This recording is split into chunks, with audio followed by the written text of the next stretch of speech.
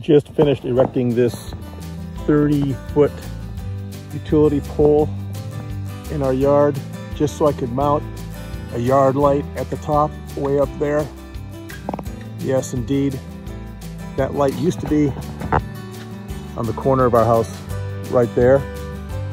And that's our bedroom window right there. No worky, if you know what I'm saying.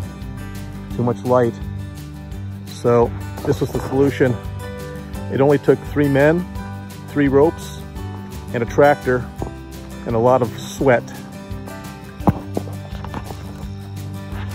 Over and out. Oh, video soon to be released. A full-length video. Days and days of work.